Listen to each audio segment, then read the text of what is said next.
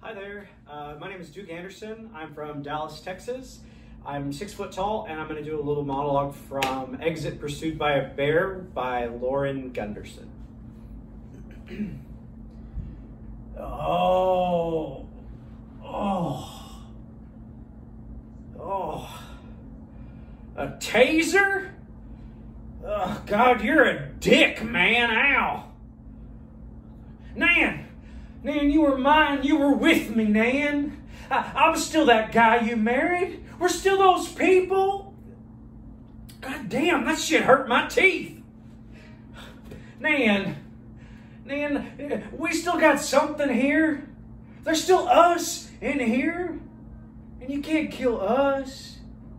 So you, you can't kill me because us is me. And I don't care what kind of books you read or, or where you think you can go to make the world any different or, or what Jesus or, or Jimmy Carter would do. But I am not the bad guy.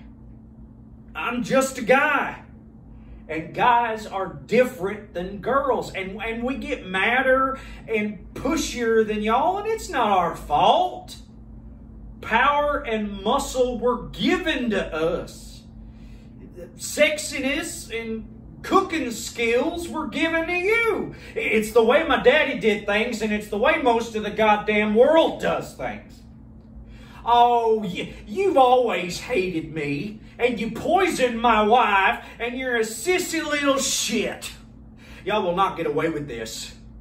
My guys will be here, and the police and the wildlife police. And goddamn it, I will rise like a goddamn phoenix out of this and smite, yes, smite you in order of shittiness.